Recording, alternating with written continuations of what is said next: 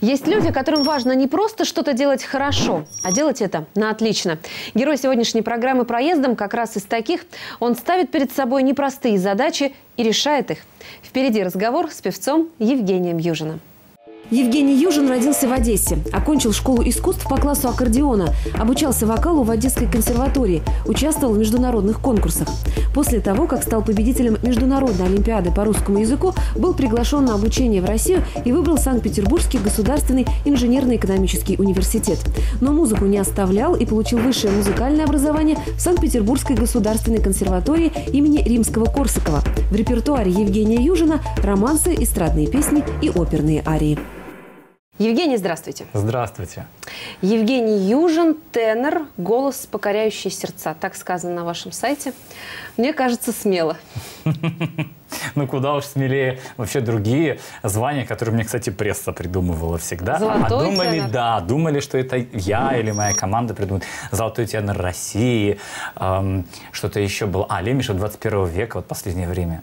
Это настолько ответственный Ну, то есть покоритель сердец – это так. Да, Середнячок. Да. Это, это вот то, что да, смогли более-менее подобрать такое. Думала попозже спросить, но спрошу сразу. А сравнение с Басковым вам Ой, как? всегда, Ну, постоянно. вот как к этому относитесь? Да ну как, нормально. Чё ж, человек, поющий эстраду, тенором. А, ну, у меня, конечно, эстрады такой нет в репертуаре, прям совсем авторской. Хотя нет, наверное, лукавлю. Все-таки все есть песни, и песни созвучные даже и Николаю. Да, одно время очень сравнивали часто. Но пока что не было такой вот еще своей шарманки, да, чтобы... Нет, нет, нет, нет. А, Своей шарманки не было. Ну, скажем так, это очень а, дорогостоящее удовольствие. Но мне кажется, иногда... Хотелось бы, вы знаете, честно, честно говоря, ведь песня неплохая. Песня ведь очень э, такая, ну, это не попса какая-то, это хорошая эстрада, которая запоминается надолго. Да, у нее нав- нависающая мелодия, налипающая на уши, э, но это хит. Хит, который будет через 15-20 лет э, Всё все равно равно, еще, еще, да, живой, конечно. Ну вы же работаете с хорошими авторами, насколько я знаю, с Да. Корнелюком. Ну, Да, неужели с такого вот... Морозовым. А, ну, это хорошая музыка. создать. Нет, это, это очень хорошая музыка, достойная, она не коммерческая. С Игорем Корнелюком э, во- вообще история, м, это песня, которая звучит в фильме, серьезном, снятом э, по роману Владимира Кунина «Правосудие волков» с Даниилом Страховым, с Майклом Йорком в главных ролях. То есть, ну, австрийский постпродакшн, наши э, режиссеры, наши сценаристы, то есть огромная команда, Мария Шукшина, кстати, там в ролях. И вот песня звучит не просто как саундтрек или как, как титры, а песня звучит в фильме прямо. Вот такой был, кстати, первый опыт и работы с Корнелюком, и вообще, в принципе, с кино. Очень Ну а сейчас интересно. осталась вот эта связь творческая с ним? Да, конечно, конечно. Он всегда рассказывает о том, что у него есть молодой друг, которого зовут э, Евгений Южин, Женя Южин. Как-то так по-отечески. Но если к сравнению с э, Басковым вернуться, вообще помогают такие шаблоны? Мне кажется, они тоже для публики, но на самом деле э, играют такую роль проводников, мостиков, да, и запоминают, Ну, наверное, проще. Да, конечно, конечно. Э, Ну, все равно, что, не знаю, есть э, какие-то отрасли, да, определенные, э, кондитерские изделия, колбасные изделия, да. Ну, я грубо, да. Я по первому образованию экономист, по второму музыкант. А по первому экономист То есть международный. сразу определяют ваше место на музыкальном рынке, да, Конечно. такое или сравнение? конфеты сладкие, вкусные, элитарные конфеты. Или это, скажем, ну, дешевые сосательные леденцы, да. Вы? Кому себя причисляете? Да это сложно сказать. Нет. Я, я такой микс. Расстанься с глупой маскою и сердце мне открой.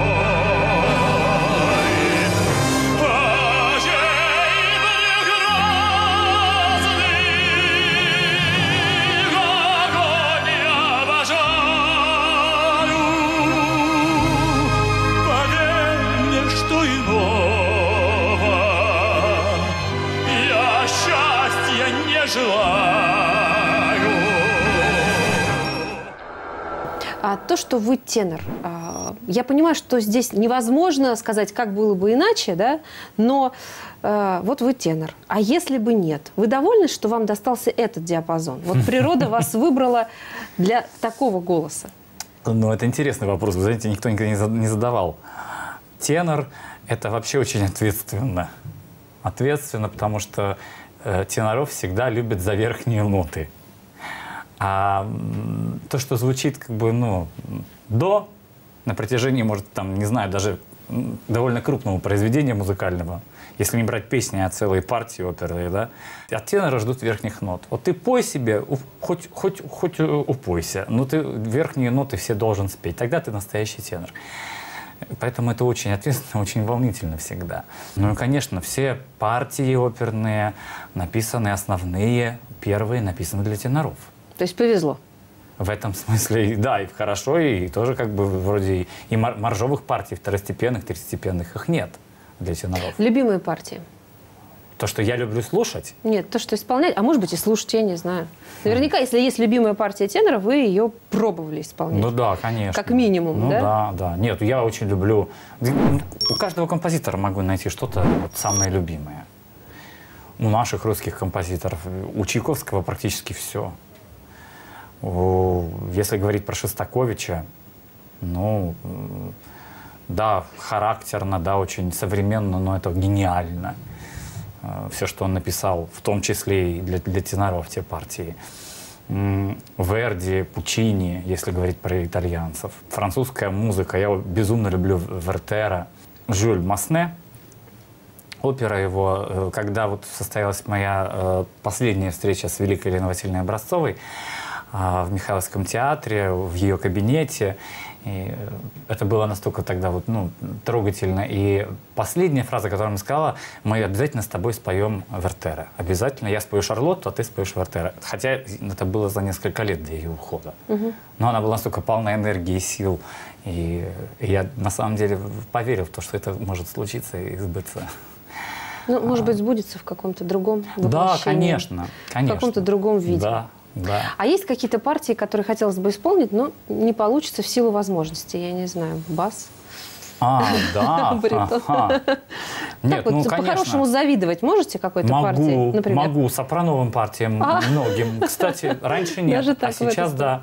Сейчас стал какие-то сопрановые партии прям слушать и упиваться. Как это вот, вот такая потрясающая музыка написана для сопрано. Как вы вообще пришли к тому, что у вас голос и хороший голос? Потому что, насколько я знаю, в музыкальной школе вы учились по классу Аккордеон. аккордеона. Да. Пришел, кстати, через э, занятие хором. В музыкальной школе был такой предмет хор.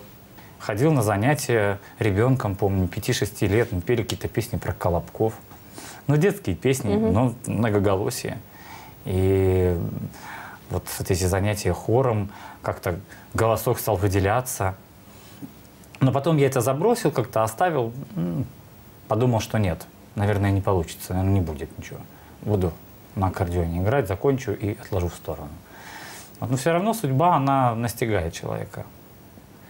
И в последнем классе музыкальной школы я как-то принес свое сочинение. Ну, все пишут стихи в, в таком раннем юном возрасте, да, все пишут мелодии, особенно если гитара, да. Я написал песню э, о родном городе, э, и, и сочинил ее на аккордеоне, значит, показал своему педагогу. И ему так понравилось, ну, ну, бо- больше не песня, а больше понравилось, как я это делаю. И он говорит, давай занимайся вокалом. Я с тобой буду заниматься вокалом. Вот я поехал через несколько лет на международный конкурс. Не жаль вам, что тогда не было такого, ну, не знаю, количества музыкальных телеконкурсов, которые помогали а, действительно талантливым очень быстро проходить этот путь? Не проходить много международных конкурсов, каких-то там региональных, еще чего-то попал на экран, и, в принципе, тебя заметили те, кто может тебе помочь. Тогда это было возможно. Все равно возможно. да? Тогда было возможно, э, что тебя заметят, потому что их было немного. Но на них было крайне сложно попасть. Я помню, мы отправляли от, от нашего города девочку, эстрадницу, очень талантливую, отправляли на конкурс целым городом. Всем городом собирали деньги. Да, да, на, на утреннюю звезду к Николаеву тогда. Она еще существовала. И помыслить себе о том, что я поеду на утреннюю звезду с таким жанром, нет, конечно, уже. Ну и потом утренняя звезда уже га- гасла тогда. заканчивалась, тогда можно было сделать э, какой-то вот такой прорыв, потому что их было немного, они ценились, они имели значение серьезное. Э, Сейчас их огромное количество на каждом канале свои. Ну вот вы же все-таки в конце концов попали на телевизионный конкурс, да, да, вы знаете, мне позвонили и сказали, приходите к нам на конкурс. Я Когда не, уже состоялись, в принципе, не отправлял анкет никаких, ничего не просил никого. Но как-то вот... э, Но не получили вы от него какой-то Нет, я- ник- а никто не получил ничего.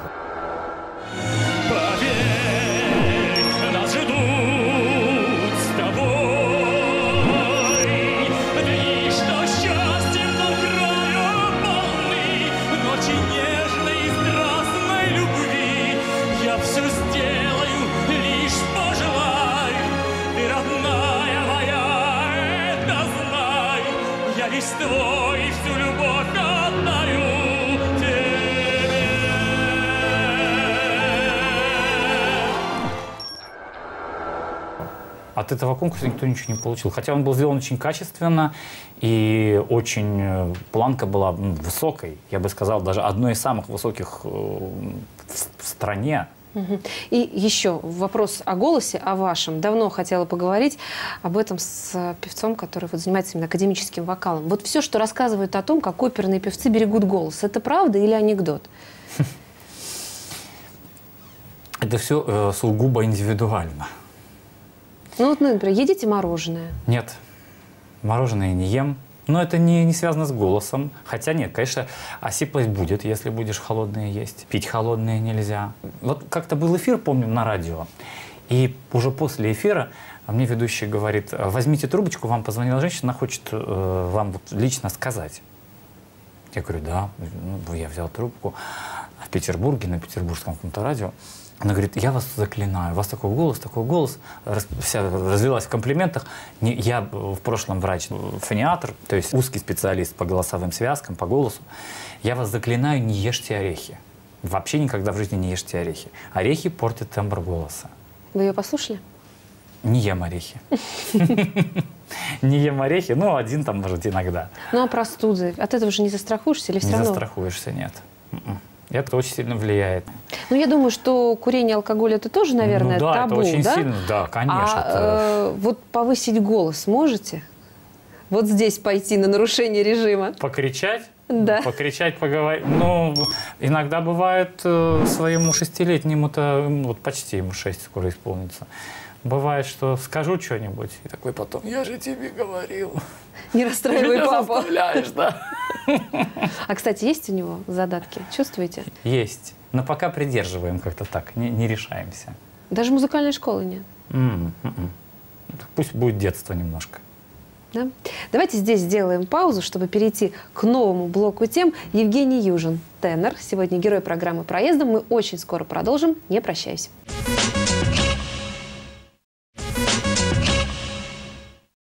Программа «Проездом» продолжается. Певец Евгений Южин у нас в гостях. А, Евгений, у вас э, репертуар очень разнообразный. Да? Есть оперные арии, неаполитанские песни, народные песни, романсы, эстрада. А, В Рязань вы приехали в этот раз с песней народной. Вот для Ну, вас я бы не сказал бы, что с народной. просто с хором, да? Ну, это Главное, что хор. Это да, это уникальный концерт, да, с хором рязанским.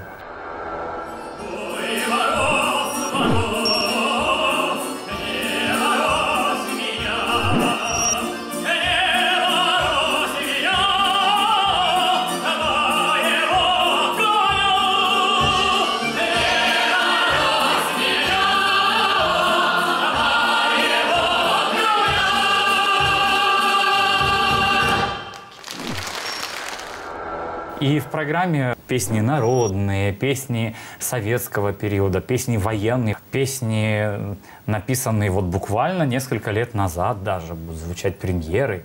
То есть их можно отнести к эстрадным? Или все равно это народная, пе- народная музыка, Ну, Как да? сказать? Это, ну, это эстрада, то что, то, что не опера, это все эстрада. Вообще, что такое эстрада? Это то, что на сцене происходит. На сцене не театральной. Все эстрада. А то, что сейчас, например, превалирует на эстраде, такие опять, правильно говоря по-русски, э, превалирует ритм, то есть рэп-исполнители, э, R&B пытаются делать ребята, да. То есть мелодии практически нет, уже ритм. Но история развивается по спирали. И, э, в принципе, первобытные люди первые звуки издавали при помощи ритмовых инструментов, шумовых. Поэтому тогда не было мелодии. И опять снова мелодия, она нивелируется. И, ну, только мы знаем, что она была, она опять нивелиру- нивелируется и возникает как будто бы вот на, на чистом месте ритм. А, Я пытаюсь из этого извлекать э, и для себя положительное. У меня есть целый диск, он называется «Русское», «Russian», ну вот так вот.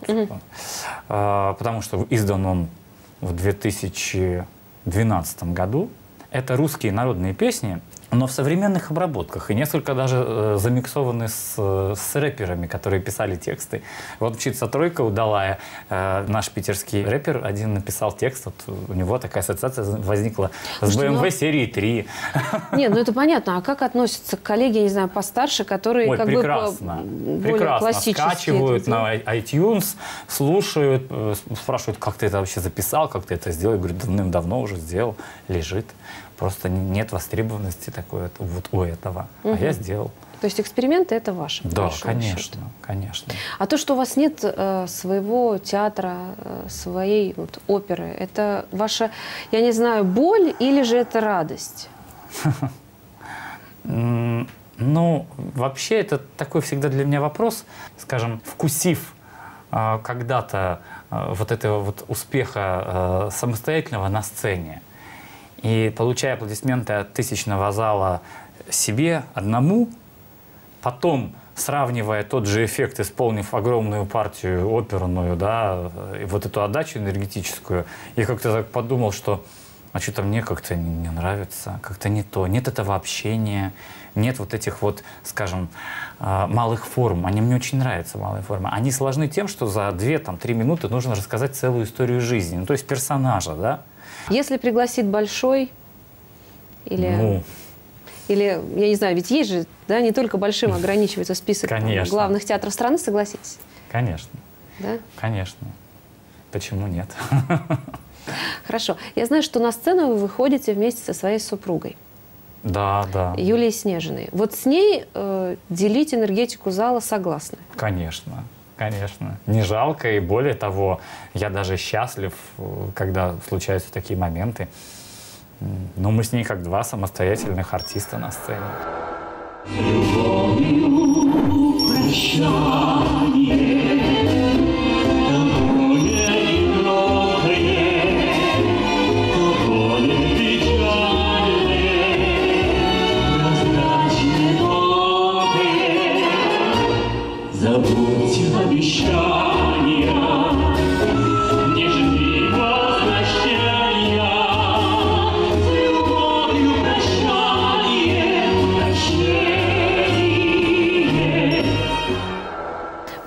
познакомились во время конкурса? Да, поделили первую премию на двоих.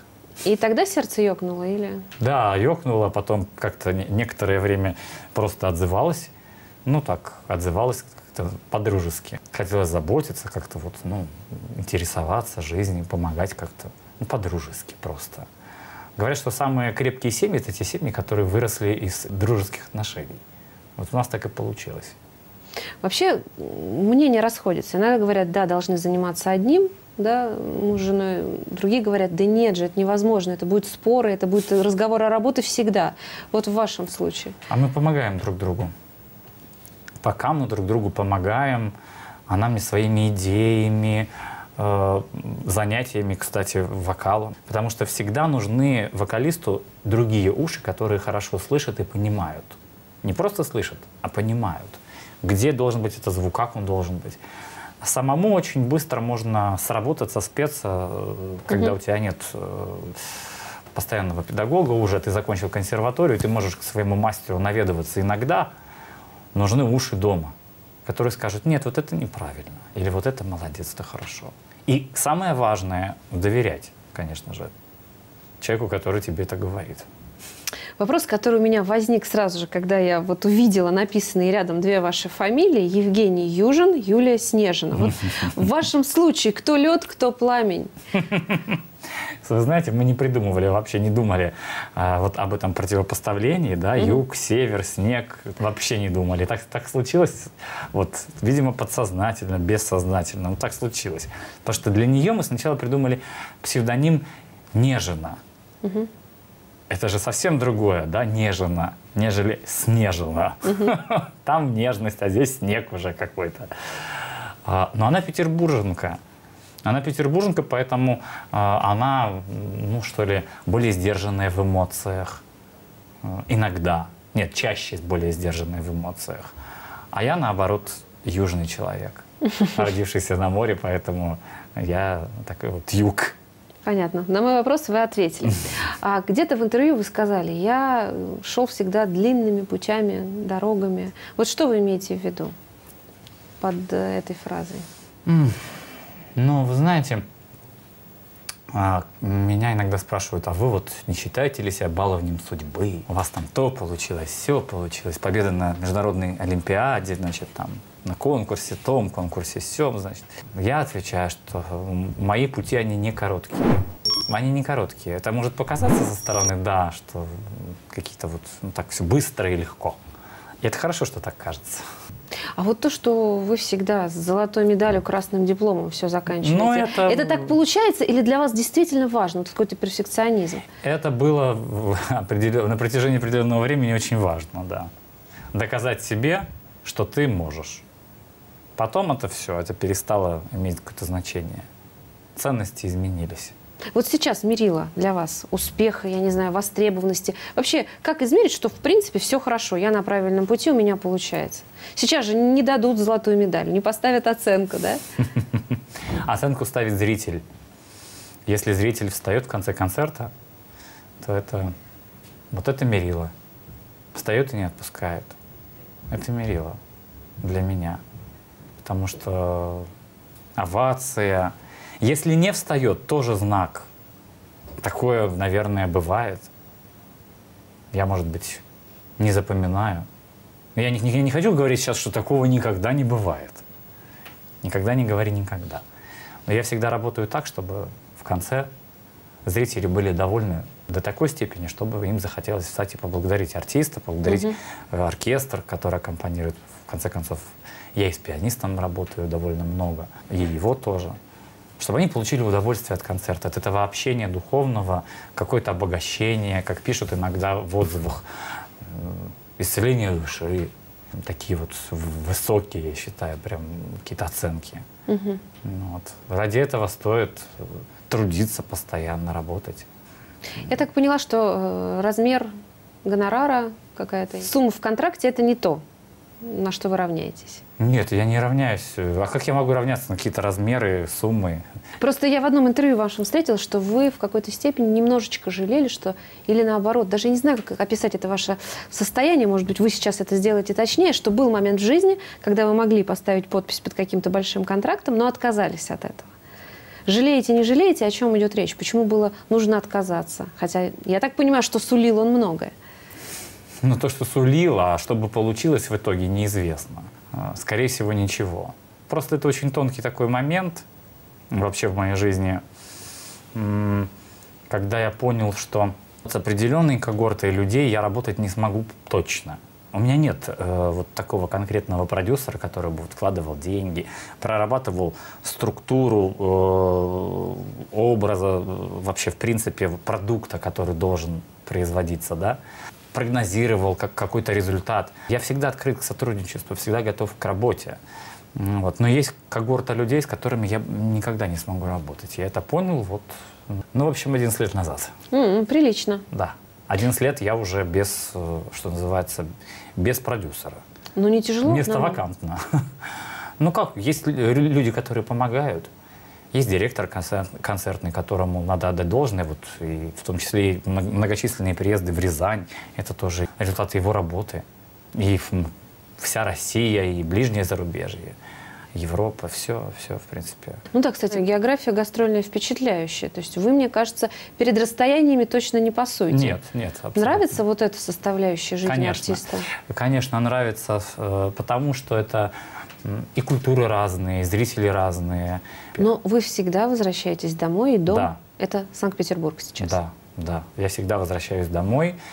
И дома я действительно черпаю вот ту энергию, чтобы снова сесть в самолет и полететь снова куда-нибудь далеко. Если э, вернуться к вам домой сейчас мысленно, да, и отмести все, что вы делаете, чтобы сохранить голос, раз, все, что вы не едите, э, занятия э, под присмотром супруги, что еще наполняет вашу жизнь? Вообще, Ой, э, я не знаю, увлечение, хобби э, музыканта классического направления, это на самом деле интересно, потому что вот что-что, а это всегда остается за кадром. А, безумно люблю путешествовать. Путешествовать в теплые страны. Я человек южный, я люблю море, солнце, э, песок. э, И попали в Петербург, да, вы по адресу просто-напросто. Абсолютно, да. Меня спрашивали первое время, зачем? Зачем? Я говорю, ну так судьба распорядилась. Господь Бог, как хотите, называйте. Так должно было быть. Конечно, вот путешествие, познание, ну, не только валяться на песке, конечно, все, что рядом, это обязательно должно быть э, познано, испытано, исследовано. Ну, побездельничать, почитать хорошую поэзию, э, книги. Ну, немного. Немного, не удается много читать, не удается. Люблю классику читать, перечитывать снова, снова и снова. Ну, ничем вы нас, по большому счету, не сразили. Не. Я-то рассчитывала на какое-нибудь такое. Нет, сноубордом не, не занимаюсь. э, Может, я что-то забываю, может, что-то, я не знаю. Нет, такого не- На дискотеках не зависаю, нет. Давно. Очень давно. Понятно. Тогда я вам желаю времяпрепровождения такого, какого вы хотите. Спасибо. Приезжайте в Рязань. И, конечно же, вам аншлагов с нужной вам реакцией зрителей. Спасибо, спасибо. Спасибо огромное. Евгений Южин сегодня был героем программы «Проездом». Я прощаюсь и обещаю новую и не менее интересную встречу. Увидимся.